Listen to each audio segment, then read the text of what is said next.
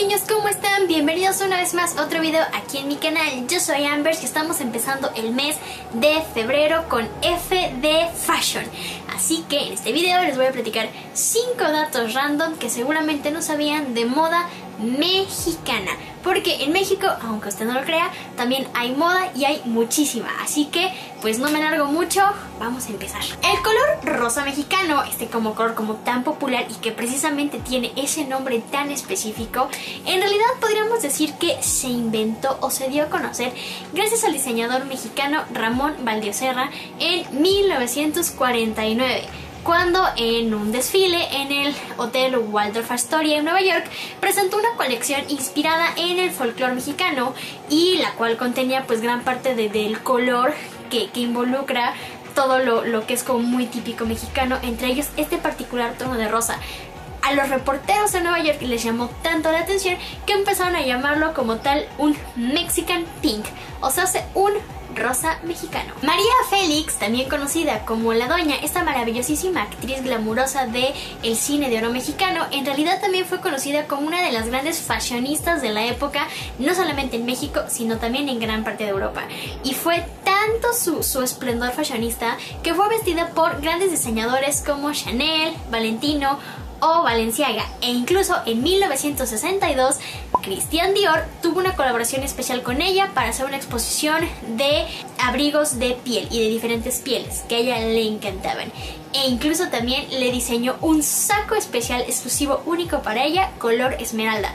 Así como un año antes le había diseñado unas botas específicamente para ellas. Esto también porque la relación entre el diseñador y la actriz era muy muy estrecha. Tenemos también al maravillosísimo diseñador Manuel Méndez quien es realmente conocido como el Valenciaga mexicano por su realmente eh, finura y detalle al hacer alta costura. En realidad él empezó copiando tal cual diseños de alta costura de la revista Vogue y haciéndolos especiales para, pues, para sus clientes como personales que iba teniendo.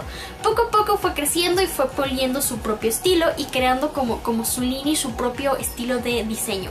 Tanto fue su crecimiento que fue de los primeros diseñadores en poder presentar en Europa una colección inspirada con bordados 100% mexicanos. Hablaremos ahora de Pedro Loredo, quien fue el primer mexicano en poder abrir un desfile en el New York Fashion Week en 1962 en el Rockefeller Center con pues, su colección meramente de diseños totalmente mexicanos.